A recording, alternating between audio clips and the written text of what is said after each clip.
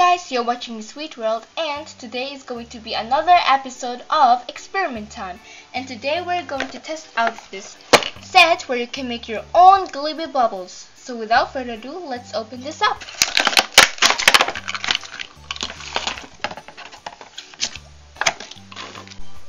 So it comes with the instructions with a popsicle stick, with a sticker, with a spoon, with two containers, with one measuring cup, and with two bottles of molecule solution and two bags of calcium lactate. First I have to put a bag of calcium lactate into this measuring cup. Now you have to pour some water in the measuring cup for about 65 milliliters. Now I'm gonna take the molecule solution and I'm gonna add some drops in one by one.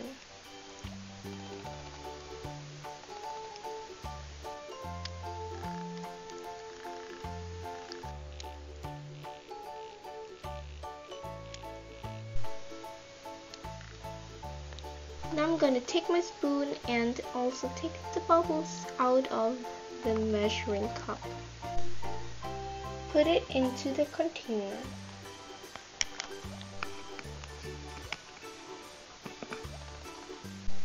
This is how the red bubbles turned out.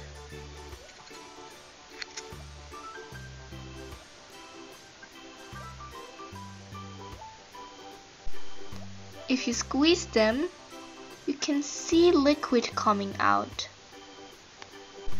Now we're going to do the same steps only with the yellow solution.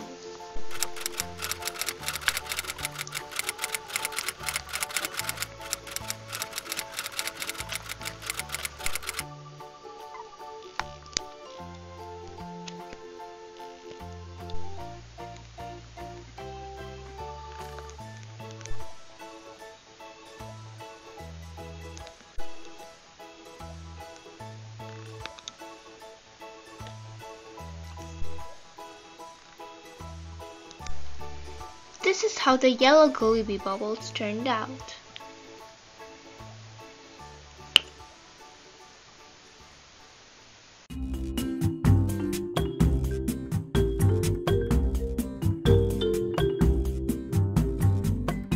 This experiment set was super fun to make and it was also very satisfying to watch how the liquid actually turned into these bubbles.